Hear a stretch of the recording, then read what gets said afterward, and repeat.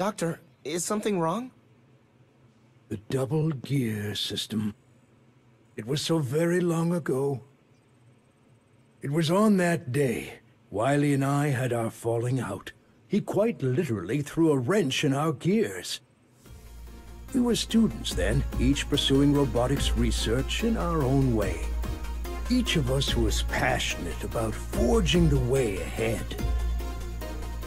To a future where humans and robots might live together in harmony. By giving robots independent thought, they could be true partners to humankind at last.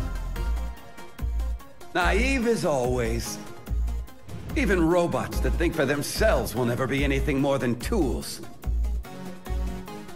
But with unstoppable power, insurmountable speed, it's only when we build robots with the power to outdo humans that people will truly accept robots for what they are.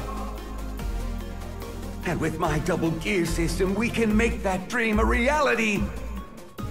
With this installed, any robot can instantly become a hero! However, I was strongly opposed to Wily's ideas and research. The double gear system, it puts an incredible strain on the robots that use it. And if it fell into the wrong hands, it could be used to cause terrible harm. At the time, a committee was convened, and Wily's research was cancelled in favor of my independent thought research. Wily never forgave me, and his views have grown ever more extreme since then.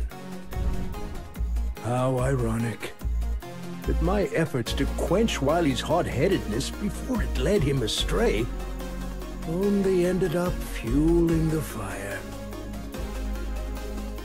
Doctor, I never knew. If only I'd shown him there was a way to work together, instead of just telling him that he was wrong. Maybe we'd still be friends. A way to work together. Even the double gear system can be a tool for good, if used properly. But using it properly requires proper judgment. Wily's dream of developing technology to make any robot into a hero could become reality if used by you.